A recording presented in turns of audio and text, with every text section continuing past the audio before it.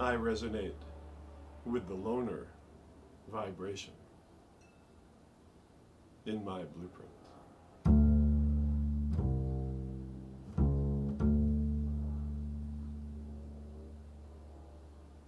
Hey, everybody.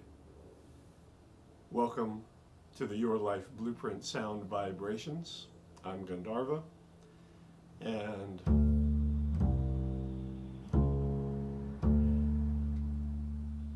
with Saturday and the loner vibration, we have reached the end. The end of the week.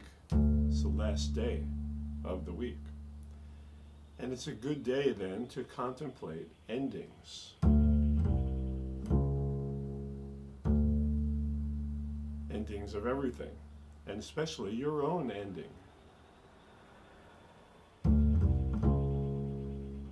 Remember it all,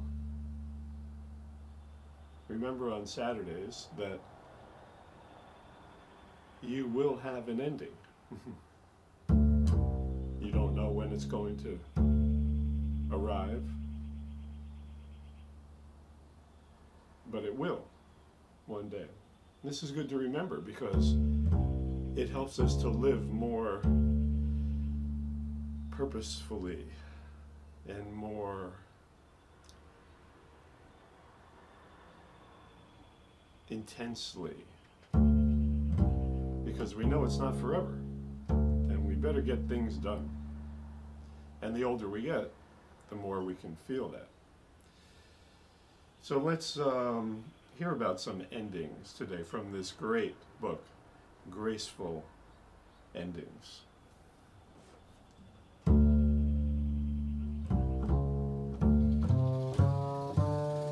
When Zen Master Tung Shan felt it was time for him to go,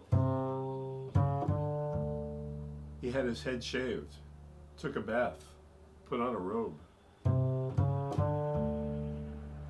rang the bell to bid farewell to the community, sat up till he breathed no more.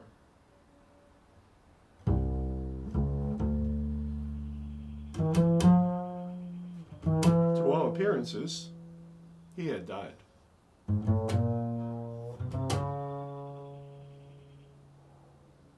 Thereupon, the whole community burst out crying grievously. as little children do at the death of their mother. Suddenly, the master opened his eyes and said to the weeping monks, We monks are supposed to be detached from all things transitory. In this consists true spiritual life.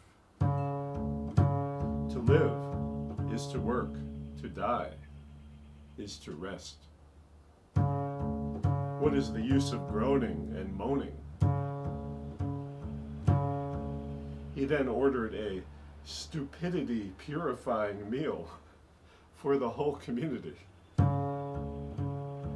After the meal, he said to them, Please make no fuss over me.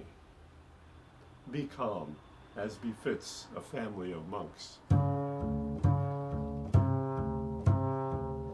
Generally speaking, when anyone is at the point of going, he has no use for noise and commotion. Thereupon he returned to the abbot's room, where he sat in meditation until he passed away.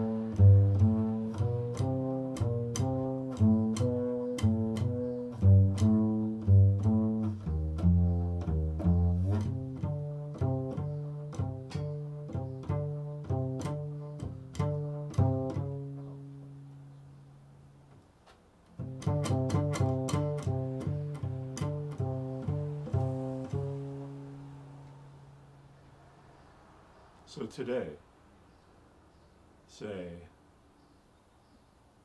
I resonate with the loner vibration in my blueprint.